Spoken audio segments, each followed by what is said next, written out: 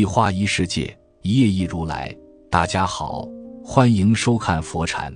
今天和大家分享的是二零一一年 Coco 李玟举办的世纪婚礼，花费高达一点五亿，这奢华程度绝对是女星婚礼的天花板。李玟和富豪乐裕民的婚礼在香港最豪华的丽思卡尔顿酒店举行，持续时间为两天两夜。出席的嘉宾邀请了半个香港娱乐圈和欧美明星，据说有三百多位好莱坞巨星参加，并都是用私人飞机接送。这么隆重又奢华的婚礼，李玟还不收嘉宾的礼金，更是给到场的亲朋好友送上价值二十万的伴手礼。李玟的婚纱到配饰珠宝，更是高达上百千万。现场布置的花卉等都是从巴黎空运至香港，奢华程度令人叹为观止。但他们结婚多年，却一直没有孩子。李玟曾说：“目标可以生两个，不过这是天赐的礼物，最后没有也无所谓。当然希望有。其实他内心想有一个孩子，但是没有也没有关系。”这可能就是一种释然，自己没有给自己太多的压力。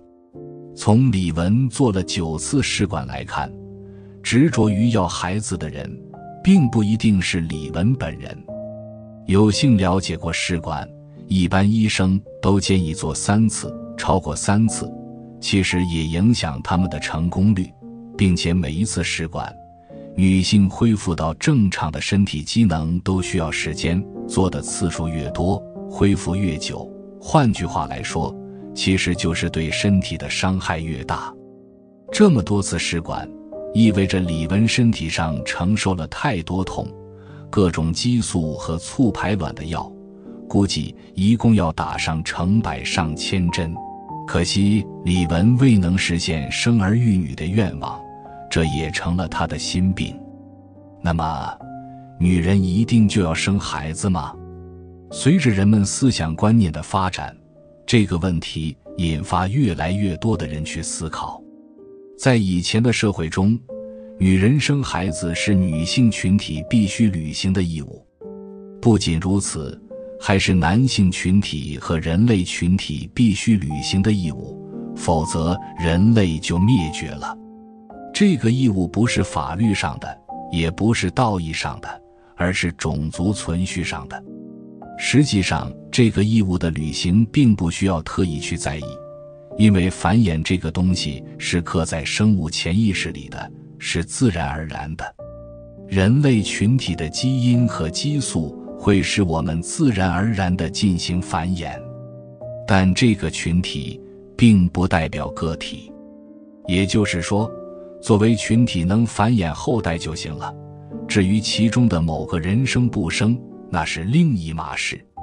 因为种族延续是种族的层面，不能下降到个体的层面来看。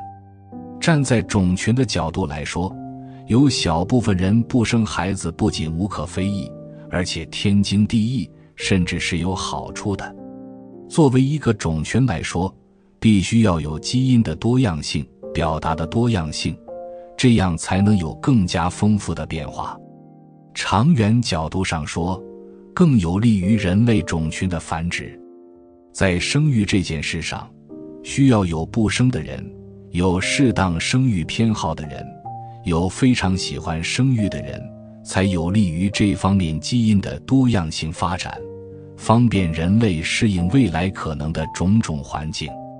弗洛伊德的精神分析中，有个关于生孩子的有趣的理论：男人之所以把大量的精力放在工作上，就是因为他们不能生孩子，而生孩子是人类超越一切重中之重的大事。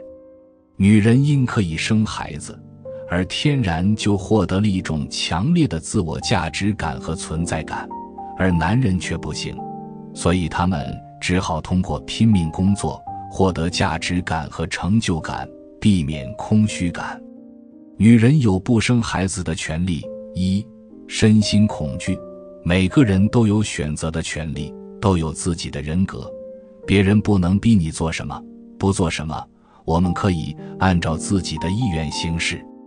对于是否生孩子这件事，有的人因为害怕疼痛而选择不生，因为影视的影响，他们身体和心理对于生孩子非常恐惧，坚信生孩子会使自己痛到不能自拔。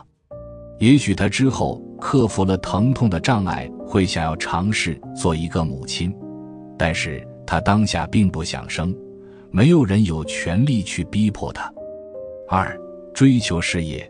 现在的社会讲究男女平等，男人可以追求自己的事业，为了自己的梦想在外奔波忙碌，可是女人却总是被贴上相夫教子的标签，并不是说这样不好，对于愿意这样做的人来说，这样很好，但人都有自主选择的权利，有的人不愿意这样生活，我们也要尊重他们。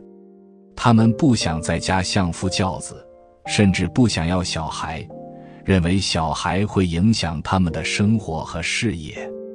他们也想和大部分男人一样追逐梦想，成就一番自己的事业。三二人世界，随着生活的发展，人们越来越追求精神上的富足。结婚的目的已经不仅仅是为了繁衍后代。为了搭伙过日子、解决温饱问题，而是两个相爱的人想要在一起生活一辈子。对于两个相爱的人来说，他们总是认为自己和对方相见恨晚，恨不得天天在一起。就像很多丁克家庭，他们希望每天都能够过二人世界，不想要小孩来打扰自己清闲的生活。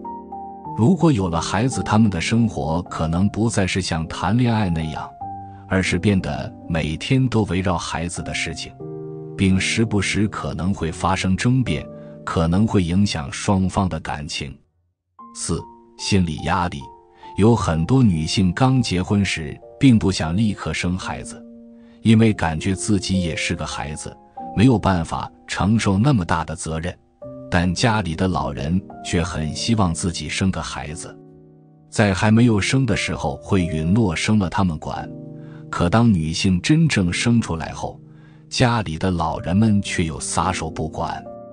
作为母亲又不可能不管自己的孩子，所以会觉得自己被骗了。本来就没有准备好做母亲的人，要立刻上任，心中的压力可想而知。因为要带孩子，不能和闺蜜出去逛街下午茶了，不能全身心投入工作中了，不能像往常一样去健身房健身了。正是因为这样的例子太多了，导致很多人都不敢轻易的生孩子。生活应该是一张自由填充的画布，而不是充满填空和选择题的试卷。当有人说，女人结婚就是为了生小孩、传宗接代的，不生孩子的女人不完整。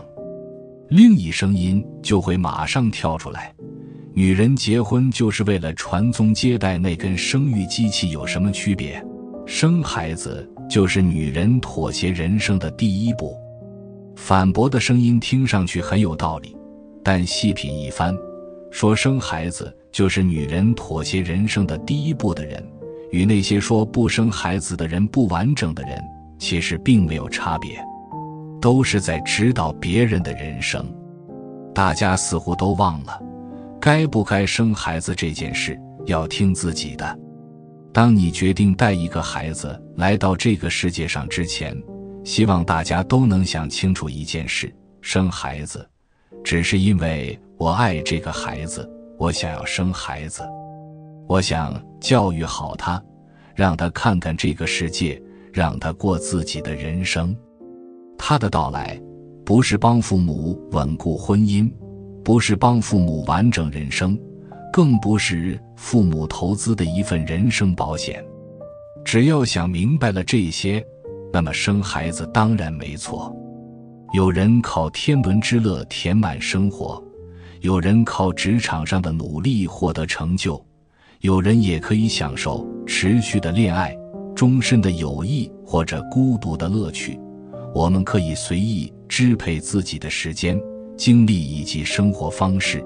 这种选择的权利应该像空气、水和阳光一样免费。